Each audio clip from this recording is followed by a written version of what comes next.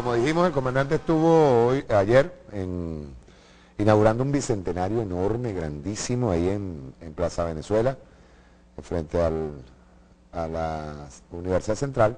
Vamos a ver la intervención del comandante en ese, en ese espacio. Rueda. Hay un alboroto aquí muy grande, muy bonito. Estamos aquí en la Plaza Venezuela, aquí en el corazón de Caracas, pues estamos inaugurando hoy este gran abasto bicentenario Plaza Venezuela. Mira. Gran abasto bicentenario Plaza Venezuela. Saludamos allá a todos, trabajadores, trabajadoras, el vicepresidente, hola muchachas, Elías Agua está con nosotros, el ministro de Alimentación, eh, Osorio, ministro Osorio, está con nosotros la ministra de Comercio, Admere Tancur, bueno, y todos los compañeros y compañeras. Vamos a hacer rápido. ¿Verdad, muchacha? Ajá, ¿no? ¿Y por qué no? No, tenemos que ser rápido. Son las seis y media. Vamos a recorrer una parte, una parte del... Porque esto es una cosa muy grande. Miren, esto es una cosa muy grande. Y es parte, repito, ustedes lo saben, de la misión alimentación. Allá está un pensamiento que se me atribuye, ¿no? Mientras esta revolución siga viva, el pueblo venezolano cada día se alimentará más, perdón, se alimentará y vivirá mejor. Eso lo dijo Chávez.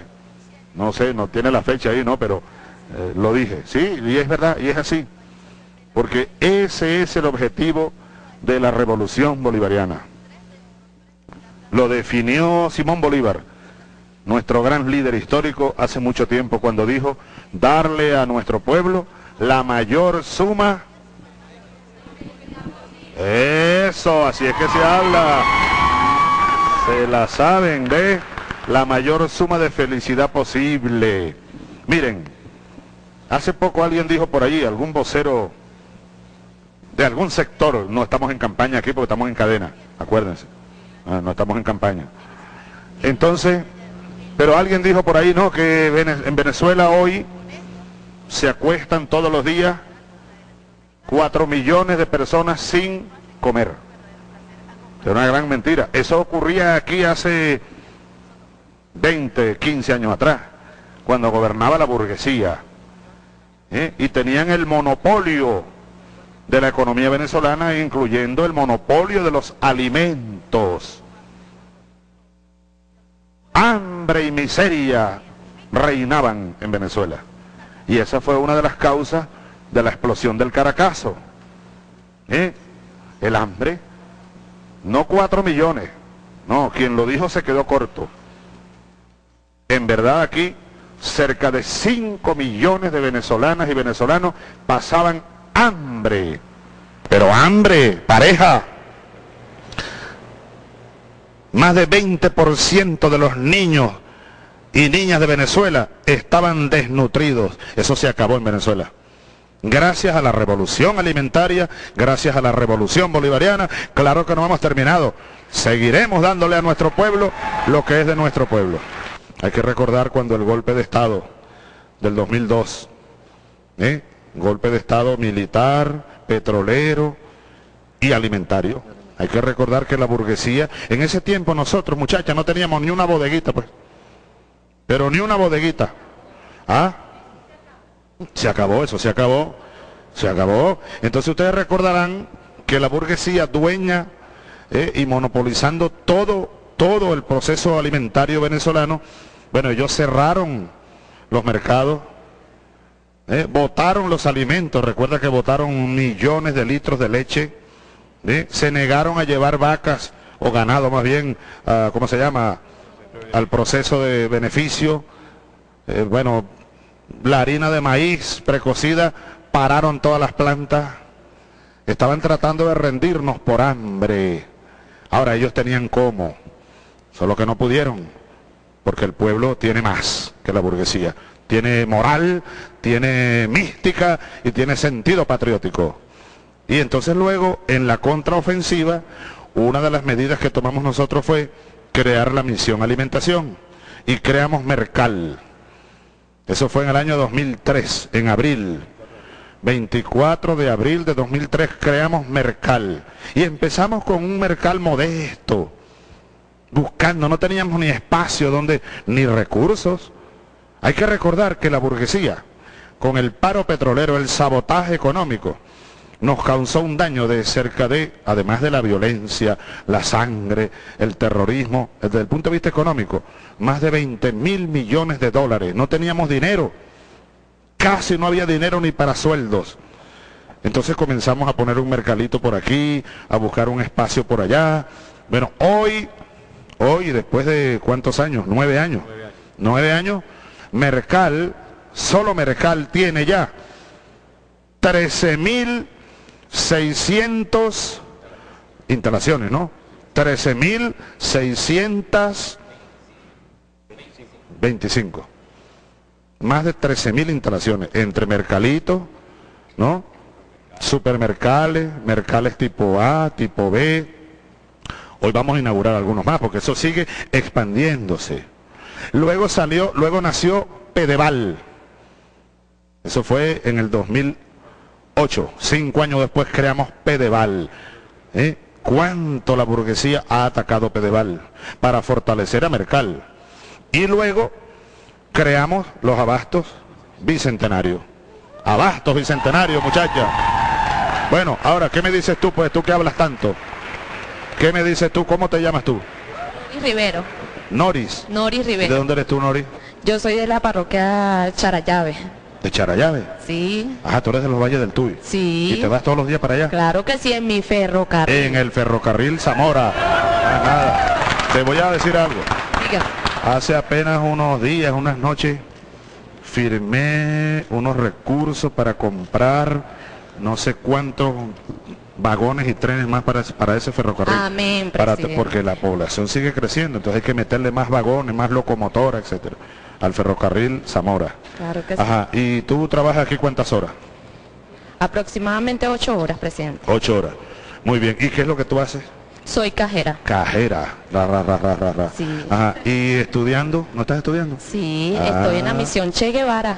¿Te ¿Qué misión Che Guevara es esa? Sí, estudiamos aquí. ¿Dónde estudias tú? Aquí dentro de la institución. Aquí dentro del Nos dan mismo cursos y charlas. Claro, presidente. ¿Ustedes también estudian ahí? Sí. ¿Tú te das cuenta? Eso es revolución, ¿ves? Eso es revolución. Eso es lo nuevo. Bueno, tú eres muy joven, tendrás 15 años, te calculo yo. Yo te calculo 15. 20, mi presidente. Bueno, 20, pues. Pa- ya para mí eso es igual, 15 o 20. Ajá. Ahora fíjate, 20 años. Tú nacías. Bueno, cuando, cuando tú naciste, creo que estaba yo preso. No puede ser. Sí, ¿tú naciste en qué año? En el 89. No, 89, después del Caracazo. Casi estaba yo preso ya. bueno, entonces, tú, me dijiste que te llamas Noris Rivero. Noris, Noris. Tú no viste lo que yo vi. ¿Ves? Tú has visto muchas cosas, pero tú no viste la quiebra de un país, cómo se quebró este país y cómo se hundió en la miseria y cómo explotaron los cerros, los barrios pobres. Tú estabas naciendo. Pero ¿Ves? no va a volver a pasar más nunca. Bueno, pero tú a través del estudio tienes que saber lo que aquí pasó, Claro. ¿verdad? A través del estudio de esos hechos. Y ahora a través de tu estudio y tu trabajo para impedir que vuelva a ocurrir eso. más Claro que nunca, sí, con la más revolución. nunca. Las amo a todas.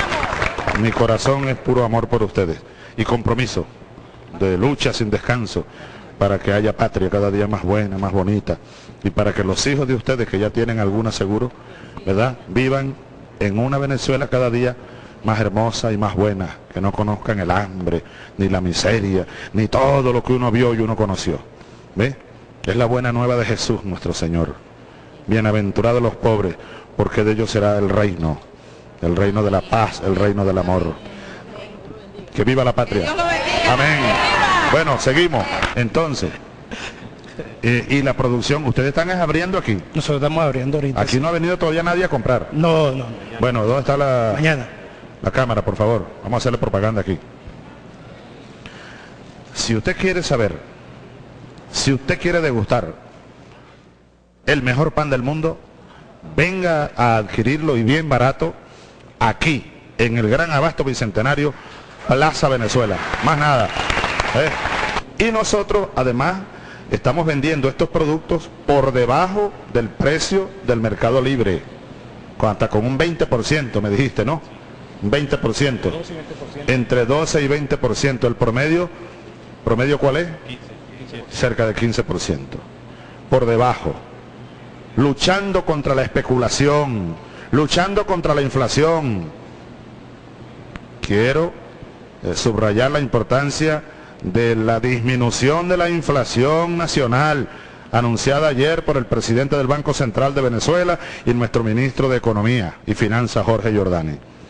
Sigue cayendo la inflación, sigue subiendo la producción, pero tenemos que seguirla impulsando, porque Cudemos, como tú bien lo sabes, este producto, miren de qué calidad, pechuga de pavo, nosotros bien podemos exportar ahora al Mercosur, un mercado de eh, cerca de 280, 290 millones de habitantes, el Caribe, Centroamérica y más allá, Europa, Europa y muchos otros países del mundo.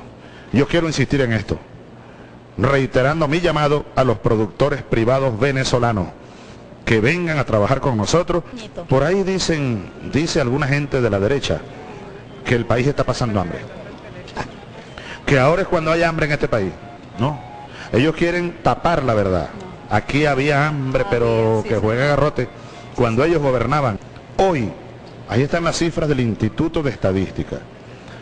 Ya estamos llegando a casi 100% de los venezolanos que consumen las proteínas necesarias. Sí. Antes era un lujo la carne de ganado, carne de res, eso era un lujo aquí. Hasta el pollo era un lujo. Tú no te acuerdas, tú no te acuerdas porque eres muy joven. Pero aquí hubo una época en que las madres le daban, las madres de, lo- de los sitios pobres, que la, más, la, la mayor parte de los venezolanos, le daban perrarina a los hijos. Eso es correcto, comandante. Perrarina, eso está ahí en los estudios científicos, históricos de hace poco, 10 años, 15 años atrás. Eh, hoy, casi el 100%, estamos, estamos rozando el 98% de los niños venezolanos toman leche todos los días. Y tenemos que llegar al 100%. ¿eh? Eso dejó de ser un lujo. ¿Ah? Eso dejó de ser un lujo. Era un lujo tomar Claro, leche para los niños, claro. era un lujo. Hay cosas que nosotros no mostramos, ¿eh? nos quedamos por debajo de la necesidad comunicacional. ¿Por qué yo convoco cadena? Porque si no convocara cadena, los medios de comunicación privados no transmiten nada de esta maravilla, nada, nada, nada. No ve que ellos quieren estapar la obra del gobierno para después decir que este gobierno no hace nada, que Chávez lo que hace es hablar y hablar. Yo hablo bastante, pero más que hablar, trabajo bastante. Yo de lo que hablo, trabajo 100 veces más de lo que hablo. Esto es el socialismo. Esto es la construcción de un nuevo sistema económico, social, que se llama socialismo, democracia económica. Entonces yo lo que iba a decir, eh, el mensaje directo, mirándole a los ojos, a los productores privados que nos puedan estar viendo eh, y oyendo, u oyendo. Aquí está, esta es una demostración. Le compramos su producción. Y si tienen ustedes productores privados de cerdo, de pollo, de fruta, de pescado, de lo que sea, ropa incluso, aquí se vende ropa, ropa, juguetes, productos del hogar. Eh, Si tienen necesidades, por ejemplo, de un crédito eh, para levantar la producción, nosotros también ayudamos en eso. Tenemos el Banco de Venezuela, el Banco Bicentenario, el BANDE, el Banco del Tesoro, y además hacemos alianza estratégica para levantar o continuar levantando la producción nacional. Tenemos buenas noticias, la inflación sigue bajando. La inflación de julio fue de 1% y ya anualizada rompimos el piso del 20, está por debajo de 20% y tenemos que seguir bajando la inflación. Y una de, la- de las formas más eh, impactantes de lograrlo es incrementando la producción y también luchando contra la especulación. Y luego, dentro de unos días, el Banco Central de Venezuela dará los resultados del crecimiento del Producto Interno Bruto del segundo trimestre. Eh, va a ser seguro muy positivo.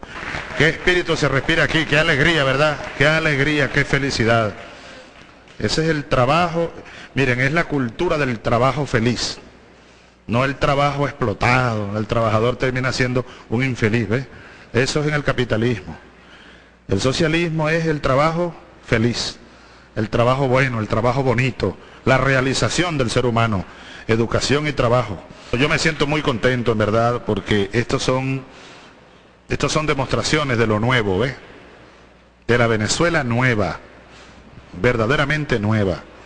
Esto es lo que, lo que llamamos propiedad social, esto es propiedad de todo el pueblo. Y forma parte además de un sistema, no es nada aislado. No, un sistema. Mercal, Pedeval, casas de alimentación, abastos bicentenario. Es un sistema que además se conecta con el sistema productivo, es decir, la producción de alimentos, la materia prima, las industrias, el procesamiento de los alimentos, y que pronto tendrá, y en esto tenemos que poner el alma, muchachos, muchachas, el alma. Yo aspiro más pronto que tarde que nosotros estemos enviando productos, diversos productos, pero centenares de estos productos de gran calidad al Mercosur y a otros países más allá de Mercosur, el Caribe, Centroamérica, porque nosotros vamos, lo digo más bien de esta manera, estamos convirtiendo a Venezuela en una verdadera potencia alimentaria, como parte de la potencia económica que hemos comenzado a hacer. Bien, dentro de esto vamos a mostrar algunas cosas desde aquí, ahora que hemos hecho un recorrido, un recorrido por algunas partes, recorrimos ni siquiera un 5% de las instalaciones, pero Usted podrá recorrerlo mañana, señora, amiga mía, amigo mío. Venga pues, para que vea esta maravilla del gran abasto bicentenario. ¿A qué hora abrimos mañana? 8 de la mañana. Camargo, Camargo. 8 de la mañana. A las 8 de la mañana estamos dispuestos aquí, por eso tenemos que terminar rápido, porque ustedes tienen que ir a descansar y venirse muy temprano. 8 de la mañana, día de fiesta mañana aquí en el Gran Abasto Bicentenario a las 8 de la mañana. ¿Hasta qué hora? 9 de la noche, mi comandante. Hasta las 9 de la noche, correcto. Bueno, entonces vamos a mostrar algunas cosas de esta red de la que yo hablo. Una red nacional de producción, procesamiento y distribución de alimentos de calidad y muy baratos. Esto solo es posible en un sistema que se llama socialismo. En el capitalismo en el neoliberalismo es imposible. Mire, yo estaba leyendo esta mañana una noticia que me llamó mucho la atención. En una ciudad de un país europeo, no voy a nombrarlo, pero están ahí en los cables, pues. La gente salió a saquear. Se llevaron no sé cuántos toneladas de alimentos. Se los llevaron para repartirlos entre los que están pasando hambre. Y es uno de los países del norte que llaman desarrollado esa crisis apenas está comenzando. Una crisis de miseria. Es una crisis alimentaria terrible. Y ahora agravada por los cambios climáticos. Elías, en Estados Unidos hay una sequía que no se veía desde hace 50 años. Y sobre todo en los estados que más producen maíz y producen eh, maíz, trigo. Y además ustedes saben que más de la mitad de ese maíz que producen allá no es para alimentación humana, sino es para los llamados biocombustibles. Eso agrava la crisis. Se han disparado los precios de los alimentos, bueno, en los últimos meses, como no, como no, ustedes no tienen idea. Y así hay una crisis económica terrible en el mundo, económica, moral, es, es el capitalismo, es el neoliberalismo. Por eso es que aquí está la base el marco de la República Bolivariana las bases para la construcción de la democracia socialista, el socialismo democrático. Es democracia económica, democracia política, democracia social, democracia verdadera. Lo que ofrece el capitalismo es lo contrario. Ellos se disfrazan de democracia, pero en verdad lo que, lo que generan es la dictadura. La dictadura política, la dictadura económica, la dictadura social. Es lo contrario al poder popular, al poder de la democracia. Miren, entonces seguimos ampliando la red, la red para darle al pueblo lo que es del pueblo, alimentos suficientes. Ustedes seguramente oirán todavía la pregunta por ahí, ¿quién mató a Delgado Chalbó? ¿Eh? El petróleo. Bueno, no fue el petróleo, pues. el imperio, porque trató de recuperar el manejo del petróleo. Y así le entregaron, después vinieron los adecos, los copellanos y gobernadores.